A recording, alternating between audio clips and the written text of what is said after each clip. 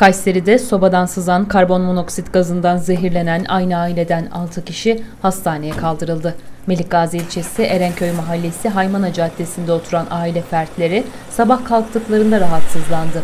Salih, Saadet, Teslime, İlayda, Ecrin, Ali Salih Tekman gelen sağlık ekipleri tarafından ambulanslarla hastaneye kaldırıldı. Sobadan sızan karbon monoksit gazından zehirlendiği belirlenen 6 kişi tedaviye alınırken sağlık durumlarının iyi olduğu belirtildi.